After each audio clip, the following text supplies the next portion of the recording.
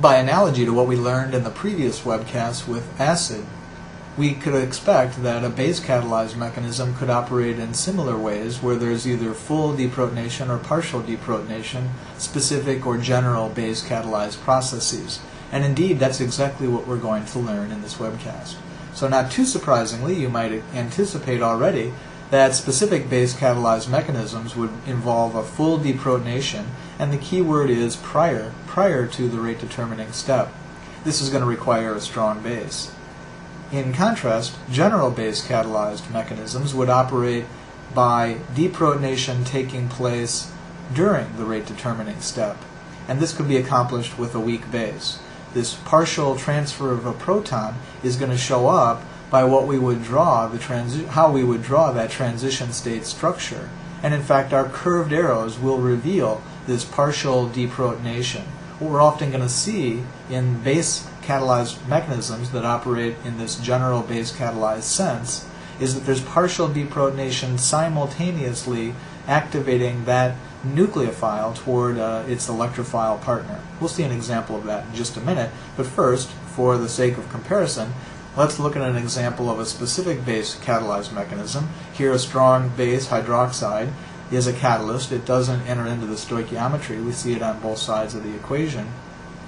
And prior to the rate determining step, it's going to undergo a proton transfer. And that proton transfer sets up the conjugate base of this cyanohydrin uh, alcohol group.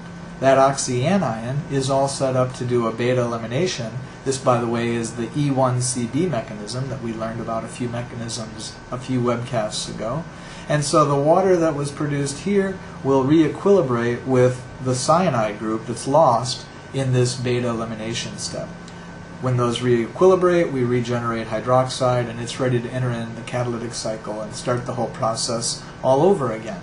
Okay, the key step is that here's the rate determining step. Prior to that rate determining step, we had a proton transfer event that took place. Now, let's compare that with a different mechanism. We'll look at the ester hydrolysis mechanism. But we're going to operate under general base catalyzed conditions where there is simultaneous deprotonation activating the nucleophile towards its electrophilic partner. Three things are going to get involved. Our base, our nucleophile, which is going to be activated by our base, and our electrophile. Three things come together in the rate determining step. That transition state will have to have all three things drawn. Let's look at the curved arrows at how this process takes place. Our base catalyst, triethylamine, begins by deprotonating the one of the hydrogens on water. As that bond breaks, this bond here, the carbon oxygen or the oxygen hydrogen bond breaks, it sets up the ability of that hydroxide group to act as a nucleophile and these three things have to be in close proximity to one another because as that proton is being transferred, the oxygen begins to make a bond with the carbonyl carbon. As that bond is made, there's a breaking of the pi bond.